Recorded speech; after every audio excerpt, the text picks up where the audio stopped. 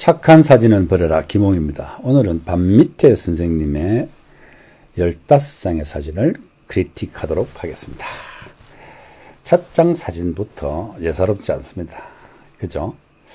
왜 예사롭지 않다? 여러분들은 아마 제가 예사롭지 않다, 좋다 이렇게 하는 말에 대해서 응원이 많으실 거로 생각합니다. 왜냐하면 여러분들은 하나의 사물을 하나의 피사체를 제대로 찍은 사진에 관심이 많으실 것 같아요. 그게 야무지게 찍혀 있으면 아 잘 찍었다 이렇게 생각하시는 거죠. 제가 학교 다닐 때 우리 모델 촬영 시간이 있었어요.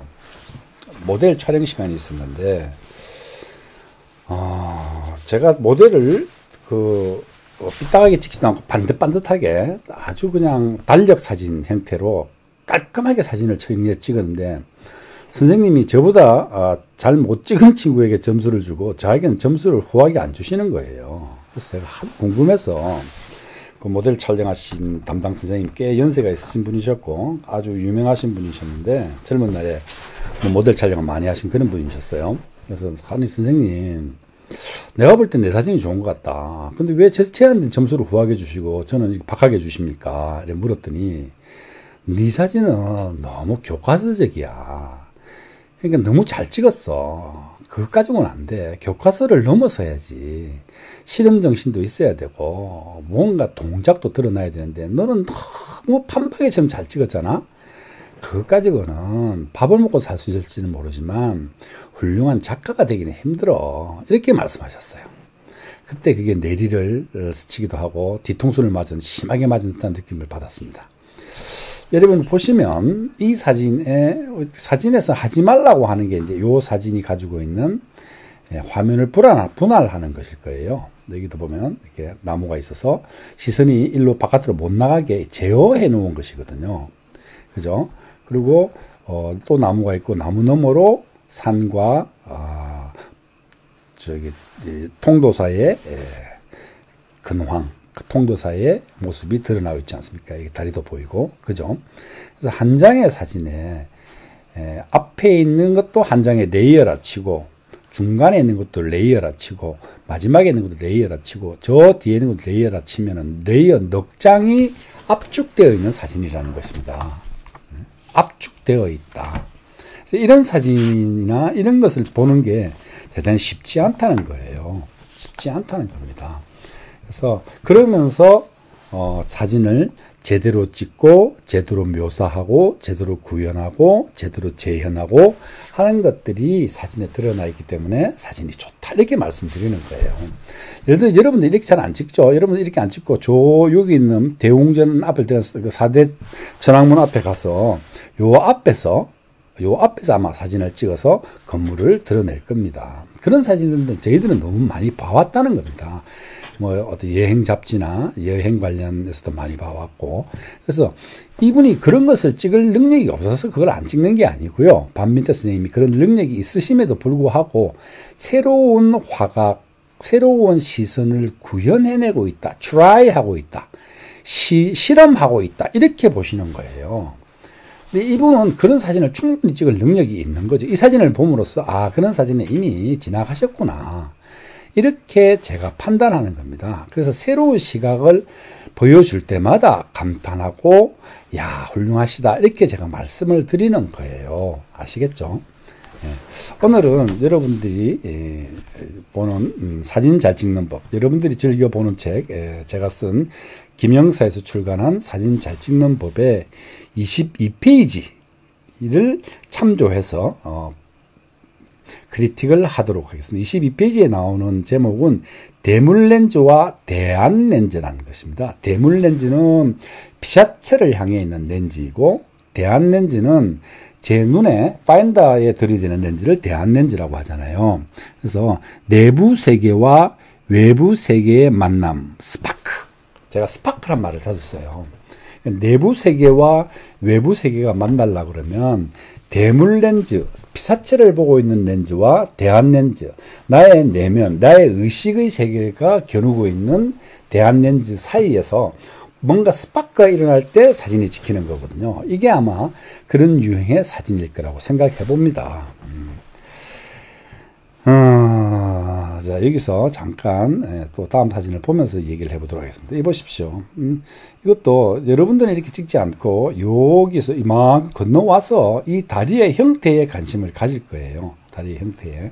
근데 이, 이, 이 반미태 선생님은 그런 것이 아니고 다리의 형태가 형태라기보다는 다리는 약간만 보이면서 오래된 소나무 말라 비틀어진 또 나무의 형상 이런 것을 통해서 이 절의 오랜 역사, 세월 이런 것을 표현하셨다고 볼 수 있는 거거든요. 그러면서 젊은이와 아이가 있나요? 젊은이와 또 꽤 중년 정도의 남녀가 지나가는 모습을 담으셨다. 이렇게 해서 이 절의 역사를 얘기하고 있는 겁니다. 음. 이게 이제 4대 천왕문을 들어가는 입구이죠. 이것도 여러분들은 찍을 때 이렇게 찍지 않고 4대, 4자는 빠졌잖아요. 대천왕 이렇게 보이고 여러분들 이렇게 찍지 않고 저 앞에 가서 4대 천왕을 반듯하게 찍으시잖아요. 그건 우리 너무 많이 봤다는 겁니다. 그러니 그렇게 찍지 마시고 여러분이 본 4대 천왕문 특별하게 이렇게 나만이 본 안목을 키워라. 이게 제가 드리는 말씀이에요. 잠시 에, 또 대물렌즈와 대한렌즈 사진 잘 찍는 법의 22페이지의 첫 줄을 읽어보면 카메라에는 피사체를 향하는 대물렌즈와 몸체 쪽에서 피사체를 살펴보는 대한렌즈가 있습니다. 흔히 대한렌즈를 두고 피사체를 살피는 역할만 생각합니다. 그리고 당연히 대물 렌즈는 피사체를 찍는 도구라고만 생각합니다. 그러나 다시 한번 생각해 볼 거야. 제가 즐겨 쓰는 얘기입니다. 여러분 다시 한번 생각해 봅시다. 대물을 하기 위해서는 당연히 피사체를 보기 위해서는 당연히 대안을 하여야 합니다. 내가 눈을 과연 들이대야 되는 거죠. 그죠? focusing을 해야 되는 겁니다. 그죠? 다시 말해 외부 세계를 찍기 위해서는 자신 내부에 끌림, 끌린다는 거죠. 또는 표현하고 싶은 어떤 주장이나 무언가가 있어야 합니다. 표현하고 싶은 주장이냐 무언가가 있어야 한다는 거죠. 이해되시죠? 자신의 내부 세계와 외부 세계, 즉 나의 내면과 피사체가 서로 만나야 한다는 거예요. 대물렌즈와 대한렌즈를 통해서 나와 피사체, 나와 사물, 나와 타자가 만나는 거잖아요. 이런 만남을 주선하는 것이 대물렌즈와 대안렌즈의 역할이라는 겁니다. 이러한 내, 내 외부적 만남을 전기적 현상을 빌려 스파크라고 저는 부르겠습니다. 이런 뜻이에요. 스파크라고 부르겠다. 그럼 스파크란 뭐냐? 만남이잖아요. 나와 타자의 만남, 나와 세계의 만남. 그죠? 음. 실로 사진을 찍는 것은 외부 세계라 할 수 있는 피사체와 내부 세계인 자신의 정신 세계가 만나 스파크를 일으키는 현상이라는 거예요. 이런 것을 피사체와의 교감이라고 하고 우리 교감 교감 그런 말 많이 쓰지 않습니까? 그걸 피사체와의 교감이라고도 하고 음? 그러나 저는 사진을 찍는 탄지의 순간, 탄지 아시죠? 탄지라는 것은 기타나 현악기를 줄을 땅 땡에다 탕 넣는 순간 있죠. 탕 놓여지는 그 순간. 그걸 탄지의 순간이라 그래요. 탄지의 순간을 스파크라고 말하고 싶습니다. 다시 말해 셔터를 끊는 탄지의 순간이야말로 바로 스파크가 일어나는 순간이고 그 현상이 순간적으로 카메라에 저장되게 된다는 거예요. 그렇죠? 근데 여러분들은 대물 렌즈와 대한렌즈의 만남 중에 그런 스파크가 일어나실 때 샷다를 끊습니까? 다차고쳐 막 끊고 말잖아요. 보아서 무언가 가슴에 와닿을 때 스파크가 일어났을 때 샷다를 끊느냐는 거예요. 뭔가 감동이 있을 때 여러분 샷다를 끊습니까? 이렇게 질문한 것 같다는 겁니다, 여러분. 이해되시죠? 여기는 이제 아홉 마리 용이 살았다고 하는 연못이고 거기에 보고 있는 어, 아빠와 아들 또 어떤 음, 여기는 뭐 아빠와 딸일까요? 아들이네 여기도 예, 그런 것입니다. 사진은 그렇게 지키는 거예요. 그러면 사진에 지키는 것은 피사체겠습니까? 아니면 내면의 정신세계겠습니까? 여러분이 카메라를 들이대고 찍는 대한 렌즈와 대물 렌즈를 통해서 스파크가 지키는 것은 피사체가 지키는 걸까요? 아니면 여러분의 내면의 세계는, 세계가 지키는 걸까요? 질문하는 거예요. 이렇게 이원화된 질문을 받으면 선택을 하게 됩니다. 우리는 선택할 수밖에 없잖아요. 그렇지만 앞선 글 형식과 내용에서 말했듯이 셔터를 누르는 순간 형식과 내용이 동시에 한 장의 이미지, 이미지에 담겨 저장이 됩니다. 이때 어떤 주장이나 일관성 있는 내용을 담으려는 촬영자와 그렇지 않은 촬영자에 따라 이미지가 달라진다는 거예요. 거기 산이 있기 때문에 나는 산을 찍은 사람과 산을 찍기 위해 거기 간 사람은 산에, 산에 대해 대하는 태도 자체가 달라진다는 겁니다, 여러분. 그것을 이해하셔야 돼요. 여러분들이 막무가내로 사진을 찍을 수 있어요. 거기 산이 있기 때문에 산을 찍을 수 있어요. 그러나 나는 산을 찍기 위해서 거기 갈 수밖에 없었다. 나는 어, 어, 양산 통도사를 찍기, 찍기 위해서 거기 갈 수밖에 없었다고 하는 분의 입장과 거기 양산 통도사가 있었기 때문에 찍었다는 입장 완전히 다른 입장입니다. 거기에 대한 설명이 나와 있는데, 예? 어, 전자는, 전자라는 것은, 음, 산이 있기 때문에 찍는 사람이고 후자라는 것은 산을 찍기 위해서 거기 간 사람이에요. 전자는 내용을 담기 위해 피사체를 선택한 것이고 후자는 그저 피사체에 끌려 사진을 찍은 것입니다. 이게 전자 후자가 바뀌었어요. 죄송합니다. 무슨 말이냐 그러면 내용을 담기 위해서 간 사람은 내가 뭔가 찍을 것이 있는데 그 피사체를 찾아서 거기 간 사람을 말해요. 이해되시죠? 근데 거기 갔더니 무슨 뭐가 있어서 찍은 사람은 피사체에 끌려서 찍은 거예요. 피사체에 끌려 찍느냐, 자신의 내면에 끌려 찍느냐는 완벽하게 다른 세계를 논하게 됩니다. 여러분 그걸 이해하셔야 된다는 겁니다. 음? 전자는 주장을 담은 형식을 찾는 행위를 했고 후자는 형식에 묶여 아무 생각 없이 촬영을 했다는 것입니다. 전자는 일관성 있는 의식 행위, 내가 무엇인가를 찍기 위해서 거기를 갈 수밖에 없었다는 것은 일관성 있는 의식 행위로서의 피사체를 등장시킨 것이고 후자는 소재주의로 외부 세계에 끌려다니기만 한 것입니다. 소재주의 있잖아요. 여러분 대충의 아마추어들이 뭐 어, 해돋이 찍으러 가고 노을 찍으러 가고 이건 다 소재거든요. 그 소재를 중시해서 찍으러 간다는 겁니다. 음? 렌즈를 두고 깊이 생각해 볼 수 있습니다. 여러분, 그렇지 않습니까? 렌즈를 두고. 우리는 막 그냥 카메라가 사진 찍는 그냥 도구일 뿐이지만 도구의 철학이라는 게 또 있거든요. 도구의 철학. 도구의 철학을 이해할 때 자신의 입장이 정리되는 겁니다. 이것을 일반, 입장의 철학이라고 그래요. 내 입장을 어떻게 가져갈 것인가에 따라서 사진은 보여지는 게 달라집니다. 그죠? 이분은 뭐, 야, 뭐, 무슨, 무슨, 뭐, 야중, 봉, 머시, 머시, 벽선입니까? 백양입니까? 아니, 무슨, 이런 글씨가 있어서 이 글씨를 여러분아 표현하려고 한 건 아닌 것 같아요. 오래된 나무. 그죠? 오래된 절의 현판. 오래되었다는 것. 그래서 오래되었다는 게 뭐예요? 그죠? 고전이라는 뜻이잖아요. 그 고전에서 우리는 이 현실을 만나고 있어. 뭐 이런 식의 얘기를 우리는 풀어나갈 수 있다는 거죠. 그죠? 젊은 남녀가 와 있네요. 아주 보기 좋아요. 절집에. 포토샵이 약간 조금 음, 음, 특별하기도 하지만 요런 포토샵은 되게 햇살 느낌 있는데 요건 조금 햇살 느낌 좀 덜해요. 음, 음 보십시오. 그죠? 요 앞에서 여러분 특히 요 앞에 요걸 찍잖아요. 근데 이 선생님 반미대 선생님은 절에 어, 있는 탑과 탑의 그림자와 그죠? 이, 이, 이, 이 건물을 건물의 입구를 함께 찍으신 거죠. 에, 요거 하나를 찍는 여러분들이 입구를 하나 찍는 것은 어, 영어로 치면 1인칭 돼요. I am a boy. 그저 뭐라 뭐, 어, 뭐 어, 영어 그 있잖아요. 그것도 다섯 그 만드는 거 어, 주어 동사 주어, 동사, 보 뭐 이런 거 있잖아요. 오, 뭐, 오형식이라 그럽니까? 그러니까 1형식 정도에 해당되는 거죠. I'm a boy. I'm the gate. 그죠? I'm the gate. 이렇게 딱 하나만 찍는 거예요. 여러분 보통 그렇게 찍어요. I'm the gate. I'm the small gate. 이렇게, 이렇게 하나만 찍어 오는 거죠. 그런데 반밑대 선생님은 이 그림과 상관없이 또 다른 그림을 넣어서 찍게 되는 것이죠.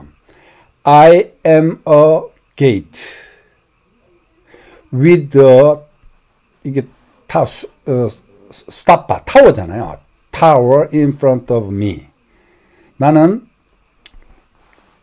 탑이 하나 있는 탑이 하나 있는 아, 탑 앞에 있는 문이 올시다. 이렇게 되면 벌써 복문이 되잖아요. 그죠? 그러니까 문장으로 치면 복문으로 사진을 찍어냈다는 거예요. 여러분 그걸 이해하셔야 된다는 겁니다.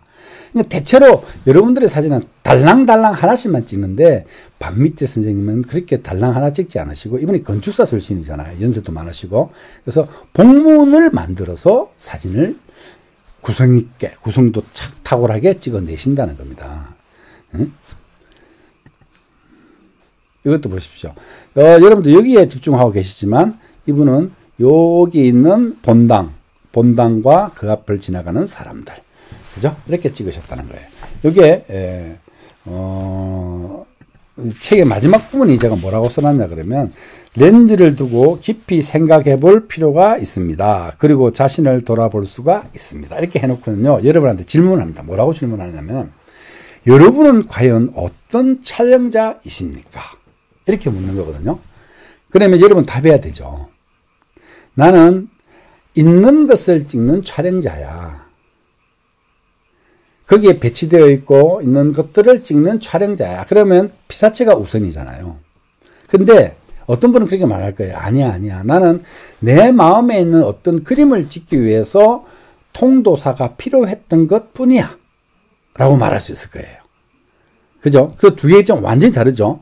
하나는 통도사가 있으니 나는 찍는 거고, 또 하나는 내가 찍고 싶은 마음의 그림이 통도사에 있으니 그걸 찍으러 간 거야. 이렇게 되는 거예요. 자, 그렇다면 여기 반밑대 선생님이 찍은 이 사진은 어디쯤에 해당될까요? 이 질문 재밌죠? 예, 연못 보셔요. 연못에 있는 것, 동전 던지는 것도 하면 이렇게 복합적으로 찍습니다. 그러면서 뭘 찍는다? 그죠? 현판을 통해서, 현판을 통해서 복합적인, 중의적인, 이 복합적이고 중의적인 이 말 되게 중요해요. 이 의미도 있지만 다른 의미도 있다는 거예요. 여러분은 하나의 의미밖에 없어요. 그래서 나는 꽃이야 이렇게 말하고 나면 서술하고 나면 더 이상 볼 게 없어요. 그죠? 이것은 연못이야 이렇게 서술했을 수 있어. 우리는 서술할 수 있잖아요.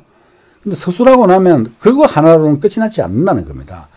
현판도 보이고 물의 생, 물 의 느낌, 동전, 꽃잎 이런 것이 중복되어서 하나로는 말하기 어려운 상황을 찍어 놓는다는 겁니다. 이게 중의적이라는 거예요. 여러분 이 말씀을 꼭 이해하셔야 돼요. 예, 여기는 예, 부도탑 부처님의 진신사리가 있는 곳이죠. 여러분 우리나라의 3대 보물 사찰인데 그 중에 하나가 예, 양산 통도사입니다. 통도사는 불보 사찰이에요. 부처님의 진신사리가 있는 곳. 그죠? 법보 사찰은 팔만 대장경에 있는 해인사. 승보 사찰은 스님들을 귀하게 여기는 이거 이제 법을 전수하셔야 될 분들이니까 그분이 있는 어, 전라도에 있는 어, 일지암 아야야야야 아 거기가 아 아이고 생각이 안 나네. 예, 뭐 그건 여러분 공부해 보세요. 예, 그 저기 법정 스님이 계시던 그 있잖아요. 송광사, 송광사, 그죠? 예. 예, 마지막으로 가면 사진이 조금 약한데 예, 이, 이, 이 진신사리를 통해서 네, 부처님의 세계의 진수를 보여주고 싶었나 봐요. 그렇다면 조금 더 그림자가 짙게 있을 때 찍었었으면 어, 그게 더 잘 드러났을 것 같다. 그림자가 너무 중천에 떼 있는 상황의 사진인 것 같다. 이런 생각을 해보는 겁니다. 하는 방법론이거든요. 그거는 오늘은 대물 렌즈와 대안 렌즈를 여러분과 함께 이야기하면서 우리 반밑대 선생님의 사진을 보았습니다. 반밑대 선생님은 대물 렌즈적 입장, 예를 들어서 피사체가 거기 있기 때문에 찍은 것인지 또는 피사, 어, 자기가 당신이 찍고 싶은 것이 있었기 때문에 에, 통도사, 어, 양산 통도사를 간 것인지 여러분들이 개인적으로 한번 잘 궁리해 보시기를 바랍니다. 다음 분 계신가요? 어, 다음 분 사진을 아, 아, 오늘은 한 분밖에 반민태 스님밖에 올리지 않으셨군요. 김희숙님 음, 볼까요? 다른 사진 있는가? 이상, 이상천님 사진도 참 좋아 보여요. 기수, 최기수님의 사진도 좋아 보이고, 어, 최승변님 사진 참 느낌 있어요. 동일틀무로. 이게 다 일부러 흔드신 것 같아요. 흔들면서 찍은 사진인데, 예, 실험 정신이 있어서 참 좋아 보인다. 역시 예, 실망시키지 않는군요. 아주 좋아 보여요. 이걸 반듯하게 찍어 놓고 흔들지 않았으면 이런 느낌이 안 났을 텐데, 그런, 음, try 해보는 그죠? 실험해보는 촬영도 좋을 것 같아요. 이항우 선생님의 코로나 북성포구도 인적이 드물다. 이 사태가 빨리 진정되기를. 예, 빗나가다. 유석 사진전. 예, 작은 창 큰 풍경. 대전시 동구 대천, 대전천 동로 580에 있습니다. 예, 이 전시장이 4월 7일부터 4월 29일까지 있으니 여러분 시간 나시는 분들은 함께 가셔서 예, 잘 어, 전시를 한번 관람해 주시기를 바랍니다. 오늘도 수고하셨습니다. 착한 사진은 버려라 김홍이었습니다.